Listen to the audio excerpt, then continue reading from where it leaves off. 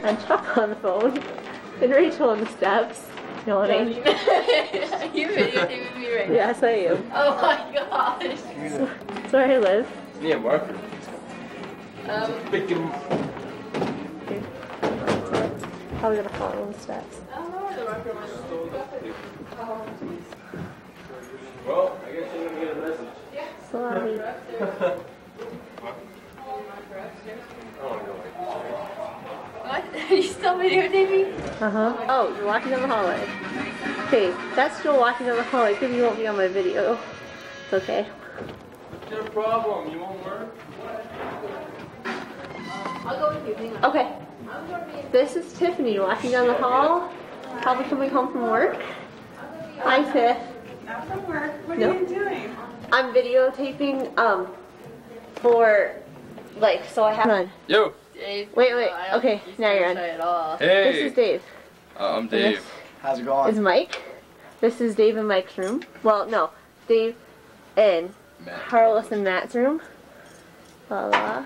We're pretty cool. Alright, okay, gotta go. hold on. It's fading out. It's fading out. oh, we're fading. Hold on. Okay, now smile, Jeff. This is Jeff. He is sleeping. Well, he was sleeping until me and Rachel came in. Hey, Jeff, And- let's for 20. This is Bill.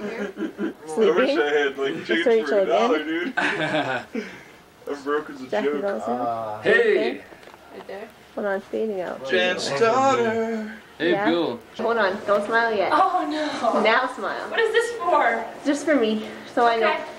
So wait, this is Jen, the other Jen, and Sadie. Hello. I saw you guys in town today, Sadie. Did you? Yeah, I did. I saw you too. I was. What's up?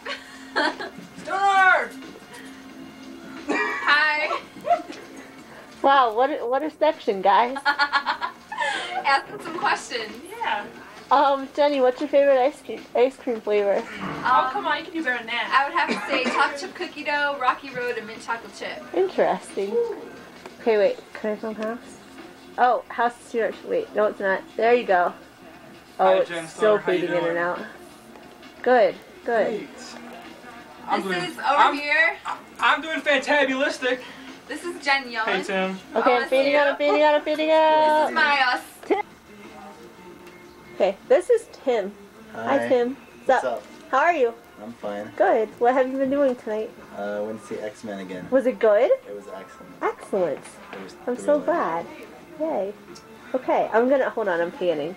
Okay, so that's house in the in the light, and this is Jen and Jenny again. This is Jen, my soul sister. Bye guys. Oh, Bye. Tim. See ya. Yeah. See you, Tim. We work in the pantry together. Okay, this isn't the Jen and Jenny show. And Oh, Jenny it is. sent me into a trash can today. As it helped me out, she went and ran and got a camera. Fading, fading. fading. Okay, go. Go. I'm House. This is this is my deep thought for today. Yes, this is House. The deep thought is the house of the righteous contains great treasure, but the income of the wicked brings them trouble. Proverbs 15:6. Now for our New, Te- New Testament reading What? 1:15. Christ Jesus came into this world to save sinners, of whom I am the worst. But for that very reason I was shown mercy, so that in me, the worst of sinners, Jenny and Jen included, Christ Jesus might display his unlimited patience as an example for those who would believe on him Burn 'em and receive eternal life. Okay, So praise God! you're done. See no evil, hear no evil, speak no evil. this is what's at MTV. Oh, Hi. hello there. okay, that's all. Okay, that's cool. That was pretty short, huh? Bye. Uh, Oh, so you can remember me with like a little thing around my neck? Exactly. Smile. Oh. Say something. Say something creative. Say something creative. Yes. I'm really tired. Are you doing your laundry? Yes, Okay. I'm washing my laundry. Sweet. Who is I this? just got back from Maine. From Maine Maine? is exciting. Yes. Wow. Hi, Jenny. Lobsters and Jenny's. Wait, turn around, smile. This is Jenny. Why are, okay, Jenny. hold on. Let me see that. Okay, wait, wait, wait. Smile. This is Danielle and Ruthie. I don't normally We know Danielle. Is that Tommy? I normally look like no, that's Jeremy. Jeremy, wave and smile. Who else is it? I don't know. Okay. Danielle, what have you been doing today? My parents, we just hung out, went to Fort Collins, Nice. then we went to, we played softball. Sweet. Okay. I'm turning this off on We then. played paintball. Softball. You Okay, okay. Okay, this is Sarah. I think she's calling her parents. So, yep, she's calling her parents. Okay, that's all. I just wanted to show you. Yes, got it. I love it when I get it. or do something. I'm stuck on tape. This is Lucas, and he's My doing shucks. nunchucks. Thinks he's all cool and stuff. Ooh. Oh my goodness! Yeah, okay, okay. Okay, now go. Okay, speak. This Hi, is I'm Jason Jason. and Sarah and Danielle. I'm from Ohio. Annie's from Ohio too. What'd you guys do tonight? We went We bowling. went bowling. Nice. Doing high ropes all day. Sweet. Sounds like a good time. nice card, Danielle. Look at this card. Oh, sicko. Okay, now ready? Ready? Now look at this picture. Okay. Okay. Look at that. Oh, Oh, oh. that's nice. This is what we do. These are these are my, my friends from school. It's awesome. Isn't that great? That's cool. It's That's awesome. awesome. Morgan's awesome. Nice. How they do that? Okay. Photoshop. Fading out. Fading out. Okay. Fading out. Hi. Just be on the camera. I don't want to be in the camera. Too bad. Because you kind of are. This is John and Shalom. Hi. What's up, guys? That I'm just. Okay. last 15 minutes. Uh, Okay. It's weird. Good. Like guys a lot of check. Okay. Dude, if I was boss, I'd like, hey, stop there. You better step up and go home. You ain't working. You go home now. Hey, guys. Dave, what's up? You better let me work around. Smile. Hi. You know I'm doing great. How could I not be doing great hanging out with all you fabulous people? This is magic. Smile magic. Okay, I'm almost done. You're not even on camera. Can't not focus second. okay, there you go. This is this is Ryan. I am Ryan. Hi, Ryan. How old are you? Where are you sending this to? I'm sending it to my house, actually. Your house? To my house. How later? later. What? One? Yeah, probably when I wake up and get hungry. Hey, wait a minute here. Wait a minute. I don't know. It's black. Is the lens No. It's re- oh, there we are. What? There we're going. Now you're filming? Say hi, mom. Hi, mom. And who else is in your family? My dad and my sister. And their names. Mike and Emily. Say hi, Mike and Emily. Hi, Mike and Emily. Hello. Cześć. Cześć. Jak się masz? Jak się masz? Dobrze? Dobrze? Maciek, Bardzo dobrze? Ja też? Zajebiście. wrote down on your Zajebiście. Suka. Co powiedział? Okay. Say goodbye. Bye. That was fun. Five strangers picked to live in a house and have their lives taped. Find out what happens when people stop being polite and start getting real. Um, yeah, obsessive compulsive. Why do I let her bother me and cause such anxiety? She smiles because everyone is watching. She cries because everyone is watching. She dances and sings and parades around because everyone is watching. Is that good or should I do it again? I don't know why everybody thinks I'm so dumb. Just because I smoke pot. I pulled straight A's in biology at Yale. I like to have fun doesn't mean that I'm stupid.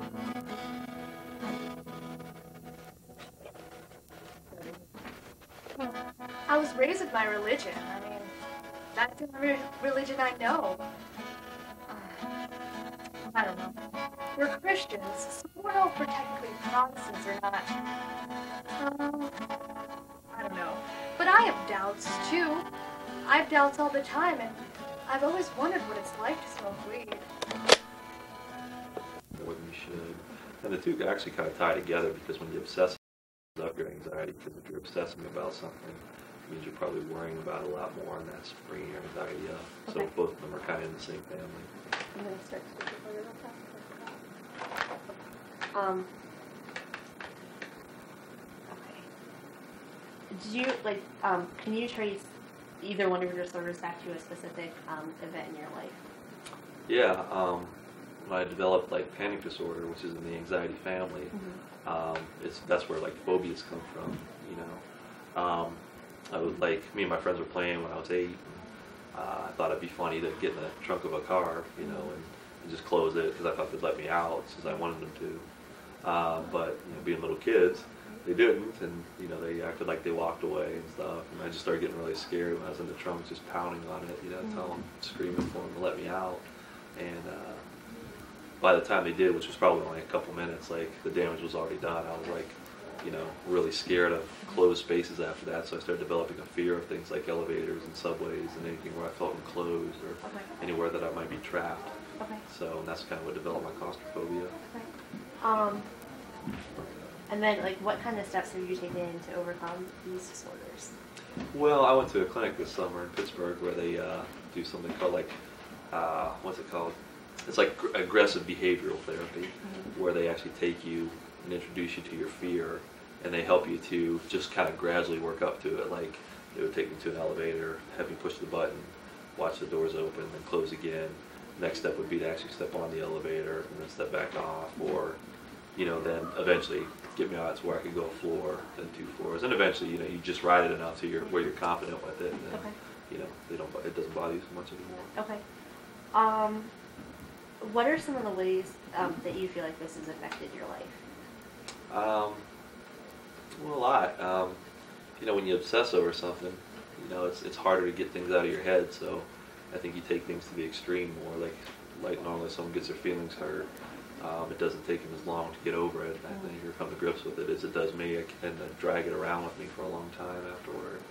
Um, if it, it hindered my life to a great degree last year because my phobias of enclosed spaces and developed a fear of thunderstorms. Um, you know, when spring came, thunderstorms came in, like I always felt like I had to watch the Weather Channel. That was kind of my compulsive behavior to kind of give myself control over the situation because you don't really have control over Mother Nature, but at least I had control of knowing when it was going to come in, so I could get someplace where I felt safe, like you know the inside of the library with no windows where I couldn't hear or see it, things like that. Um, you know, and, and doing that, it just you know it took away from my ministry responsibilities, job responsibilities, and you know, kind of affected my relationship with Krista because I couldn't be a good boyfriend to her because I was so worried myself about dealing with all this anxiety and stuff.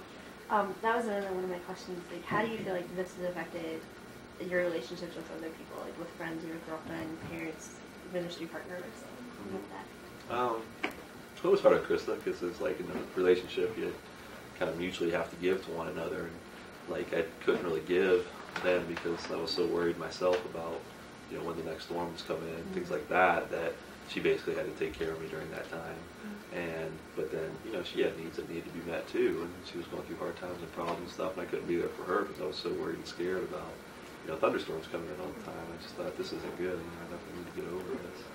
Um, so it was really important there. It affected my relationship, you know, with the people I work with because sometimes they would want to go to a conference or a meeting that was important, you know, that was important. I couldn't go because if a storm was coming in, like I'd have to say, sorry, I can't go, you know. And it, it was going to get to the point, I'm sure, where I was probably going to miss like friends' birthday parties and everything because I was too scared to drive because I was afraid the storm was going to come in. Um, like, you said that you'd gone to a clinic this summer. Is this something? Do you feel like this is something you've overcome, or do you think this is something that's going to be a continual process for you? Well, I think it's always going to be something that's a temptation.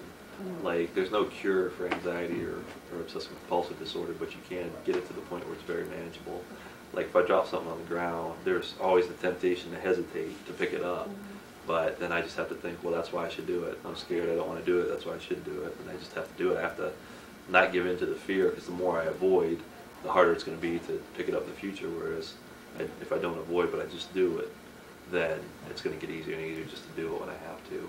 And that's the habit I want to get into is, uh, you know, not avoiding but doing. And the more I, the more I actually do it and not avoid it, then the easier it gets. Even though the temptation, temptation may always be there, it's still, it'll be manageable as long as I know not to give into it. Okay. Um, like, do you feel like you have coping strategies now um, that are gonna? Well, I guess we just talked about that. Um, what like what are some of the things that you that you think helped you the helped you the most to to deal with this, to overcome it, to um, be able to maintain a balance now?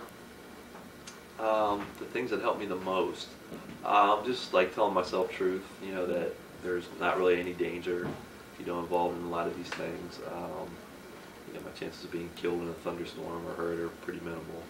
Um, that, you know, if I pick something up off the ground, you know, I'm not going to die, you know, I'm probably not even going to get sick, it's probably going to be fine. Um, things like that, telling myself are, are really helpful. And just knowing that I'm sure God doesn't want me to be like this. I'm sure, you know, He wants me to have a good, victorious life. And I'm not living in victory when I'm kind of a slave to my fears and obsessions. And just knowing that with His help, you know, I can overcome it and live the life I think He would want me to live. I think has helped out a lot. Um, like, what are some of the positive things that you think have come out of having the disorder and going through this? Um, positive things I think is, I think now I can help other people who, are going through similar things because I know what it's like. I was there. I can help give suggestions to people who are going through similar things. And um, I just had a girl the other day just tell me suggestions I gave her were really helpful and that made me feel good. Um, and, you know, if I can be an inspiration to people through it, that makes me feel good. Yeah. Um, and I don't know, I really believe God just, you know, really helped me through this and kind of, I want to give Him glory by showing other people that, you know, if God's true with God, all things are possible. He can get you over anything that you feel like is holding you back or holding you down. Very cool. Um, like, what is there anything specific that you're doing right now? Um, like, are you still, um, like, I know you said you've gone to the clinic. Is there still stuff like that that you're doing, like Mhm. support groups or that kind of thing that Yeah. you're currently doing? Mhm.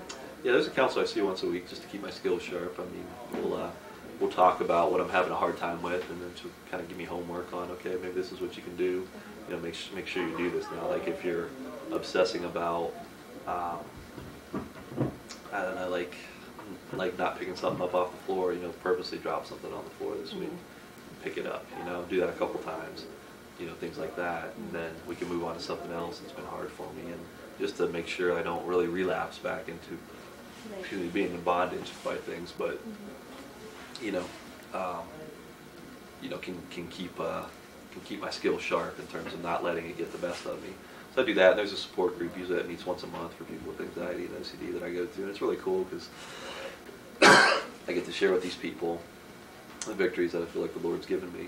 You know, and sometimes I bring my friends to it with me too, and you know, they always are really curious to find out about things, and that's what I need. They made comments last time about you know how my friends are so cool because you know they're really genuinely interested in, in helping out, help me, you know, to get better and stuff, and shows they really care about me, which is really cool. Good.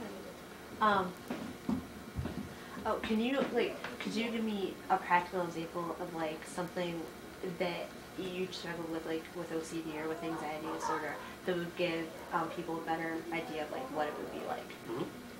Let's see, with OCD, like, what would be something I would do? Um,